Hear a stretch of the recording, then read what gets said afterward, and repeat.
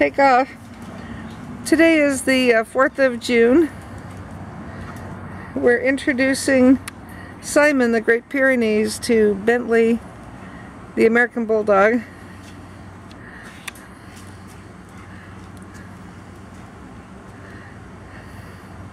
They're just getting to know each other.